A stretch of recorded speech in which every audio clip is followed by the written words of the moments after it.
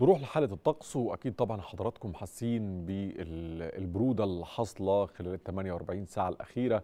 آه، الهواء طبعا شديد شوية مدي إحساس أكتر أو شعور أكتر بالبرودة. ولكن آه، التنبؤات الجوية بتبين أن آه، البلاد بداية من بكرة هتتعرض لانخفاض أو موجة من انخفاض درجات الحرارة على مختلف أنحاء الجمهورية. هتنخفض درجة الحرارة من 3 درجات لأربع درجات. يعني مثلا بنتكلم بكرة القاهرة والوجه البحري العظمى 18 يعني العظمى 18 والصغرى 10 درجات. طبعا ممكن تقل في بعض الأماكن وفي أوقات معينة من الليل. السواحل الشمالية العظمى 17 الصغرى 11 وهكذا. نتكلم على آه، شمال الصعيد 19 العظمى 8 درجات درجة الحرارة الصغرى. جنوب الصعيد 26 درجة الحرارة العظمى و10 درجات آه، درجة الحرارة الصغرى. فواضح إن من بكرة هيبقى فيه آه، برودة شديدة في الصعيد خصوصا آه، بالليل وفي الصباح الباكر. برحب بدكتور محمود القياتي عضو المركز الإعلامي لهيئة الأرصاد الجوية. دكتور محمود مساء الخير. ازي حضرتك؟ مساء الخير أستاذ عمرو على حضرتك وعلى كل السادة المشاهدين. الله يسلم حضرتك. واضح كده إن التنبؤات الجوية واضح إن الموجة من بكرة انخفاض يعني 3 4 درجات.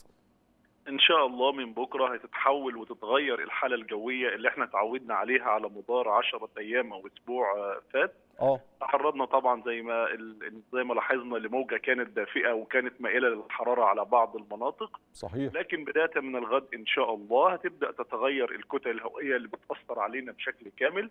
هنتأثر بكتل هوائية شمالية هتمر من على البحر المتوسط هتكون محملة بكميات كبيرة من بخار الماء. امم في نفس الوقت هيبدأ يظهر عندنا المعتاد في فصل الشتاء وهو توالي المنخفضات الجوية اللي بتكون موجودة في الطبقات العليا للهواء.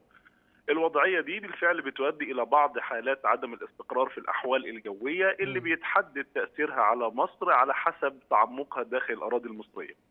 الحالة اللي متوقع نتعرض لها بكرة إن شاء الله تأثيرها بالأكثر هيكون من حيث الأمطار على السواحل الشمالية للجمهورية مم. بداية من الغد إن شاء الله أو على مدار الساعات القليلة القادمة هتبدأ السواحل الشمالية للجمهورية تزداد عليها فرص وكميات الأمطار مم. هتصل للبابين المتوسطة للغزيرة والرعدية أحيانا اللي ممكن مم. يتساقط معها حبات البرد خاصة على الإسكندرية والبحيرة وكفر الشيخ ومطروح. أيضا هتصل الأمطار أقل حدة على مناطق الساحل الشمالي الشرقي زي بورسعيد ودمياط وشمال سيناء وأيضا هتصل لمدن القناة وبعض المناطق الموجودة في جنوب الوجه الوجه البحري. ده بداية من الغد إن شاء الله. بما فيها ال- القاهرة الكبرى؟ القاهرة الكبرى هتبدأ يوم الأربع إن شاء الله. فرص الأمطار هتستمر زي ما هي بنفس الكمية على السواحل وهتزداد الكمية جنوبا. آه. حتى متوقع إنها تصل للقاهرة إن شاء الله لحد دلوقتي الخرائط بتشير إنها يوم الأربعاء على القاهرة هتكون خفيفة. مم. ولكن وارد مع التحديثات الجديدة تزداد فرصة القاهرة أو تضعف ده اللي إحنا بنتابعه وبنبلغ حضراتكم بيه أول بأول. آه. ده بالنسبة لكن مبدئيا بكرة آه، أمطار من متوسطة لغزيرة السواحل الشمالية لحد السواحل الشمالية الشرقية وبعض المناطق مثلا في المناطق الشرقية من مصر آه، والدلتا. ومن الأربع هيكون كل ده مع القاهرة الكبرى. بالفعل إن شاء الله. ده عنصر الأمطار اللي آه. هيبدأ مننا من بكرة. أيضا في عنصر تاني مهم اللي حضرتك أشرت إليه وهو انخفاض درجات الحرارة بشكل ملحوظ بداية من الغد.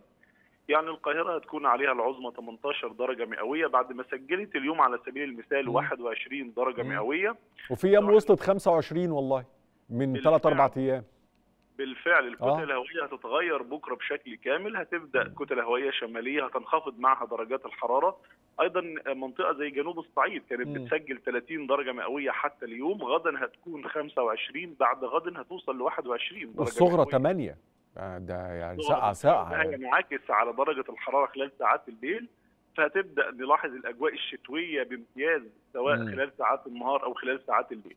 عنصر كمان مهم وهو نشاط الرياح اللي هيبدأ يظهر من الغد وحتى الأربعاء إن شاء الله. نشاط رياح على أغلب مناطق الجمهورية. نشاط الرياح مع الأجواء الباردة دي بيدينا مزيد من الإحساس ببرودة الطقس. هيدينا أيضا اضطراب في حركة الملاحة البحرية على البحر المتوسط وارتفاع الموج بداية من مساء الثلاثاء هيصل لثلاث لثلاث أمتار ويوم الأربعاء هيزداد وممكن يصل لخمسة أمتار على البحر المتوسط وقد يؤدي أيضا لبعض الاضطرابات في مناطق متفرقة من البحر الأحمر. أيوة. نشاط الرياح أيضا غدا من ممكن يؤدي إلى إثارة لبعض الرمال والأتربة لكن على المناطق الجنوبية زي شمال وجنوب. الصعيد. دي أبرز العناصر اللي هتكون مصاحبة للحاله الجوية المتوقعة غدا بإذن الله. متشكر جدا لوجود حضرتك معنا دكتور محمود القياتي عضو المركز الإعلامي لهيئة الأرصاد الجوية